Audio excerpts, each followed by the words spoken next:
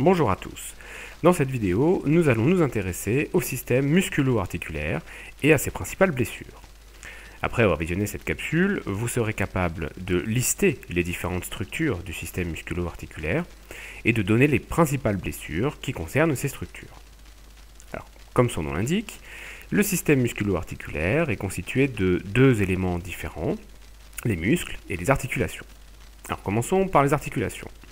Une articulation est une zone de juxtaposition de l'extrémité de deux os.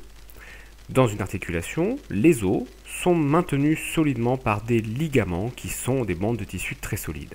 Donc les ligaments vont connecter les os entre eux dans une articulation. Concernant les muscles, le corps humain comprend environ 600 muscles.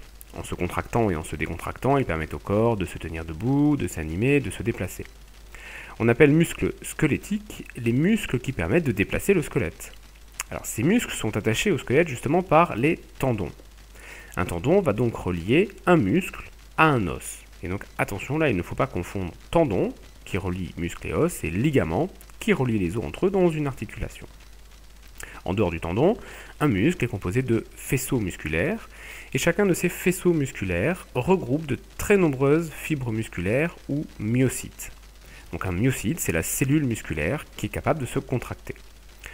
Alors, quand un muscle se contracte, il se raccourcit. Du coup, il va tirer sur le tendon, qui va à son tour tirer sur l'os auquel il est attaché, et c'est ça qui va produire le mouvement. Alors, voyons maintenant les principales blessures qui touchent les muscles et les articulations. D'abord les articulations. Une articulation peut subir une luxation ou déboîtement. Cela correspond à une perte de contact des os de l'articulation. Sur la radio euh, suivante du genou, par exemple, on voit bien que le fémur n'est plus du tout en contact avec le tibia. Hein. il y a un déboîtement, une luxation. Le deuxième type de blessure qui va toucher les articulations va concerner les ligaments. Hein, comme les ligaments tiennent les os, euh, suite à un mouvement brutal, ils peuvent être étirés de manière excessive. Et un étirement brutal des ligaments, c'est ce qu'on appelle une entorse ou une foulure.